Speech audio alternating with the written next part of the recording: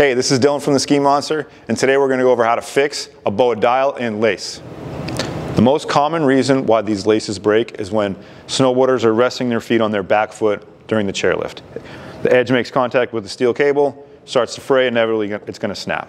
Fortunately, that's an easy thing to fix. So first thing we want to do is remove the boa dial.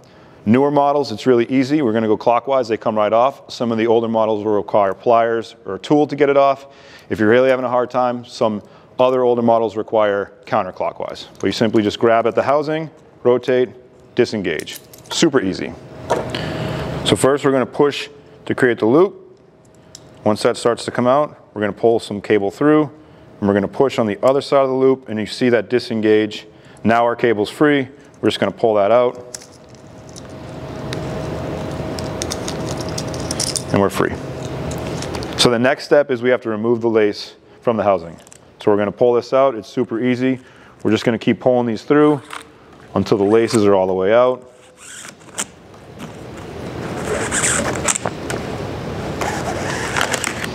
Super easy. The next step is we need to find out what length cable we need. On all the tongues of snowboard boots, there'll be a mark. In this case, we need a 140 centimeter cable, which is lace listed right here. Looks something like this.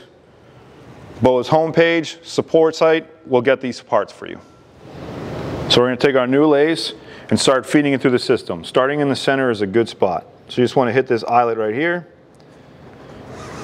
Pull this line until we get equal lengths and begin feeding it through.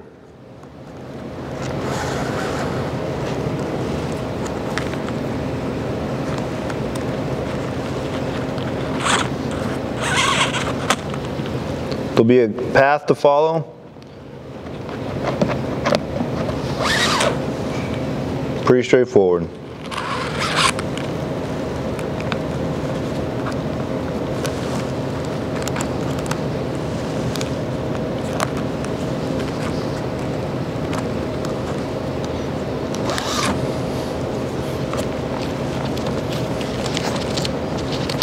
So that side's done.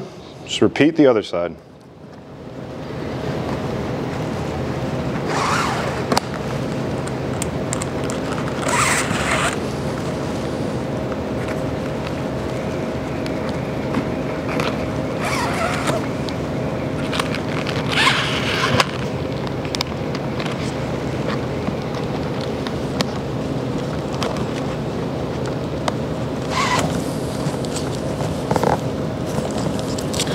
And once you pull the final cable through both housings, we have a little bit of a different discrepancy in length.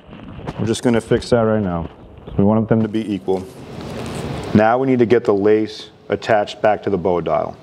There's a longer hole inside and that's where we're going to begin. So we'll feed the cable through there. We pop out on the other side. Now we're going to take a U-turn and back through the hole right next to it.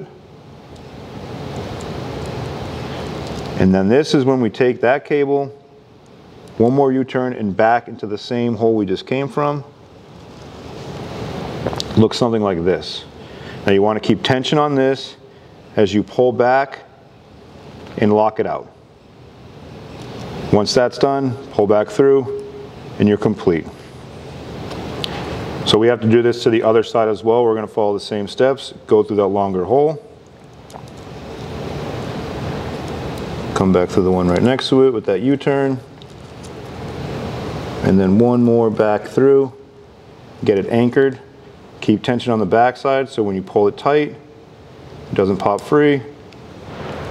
And once it's locked out you're just going to feed it pull it back through.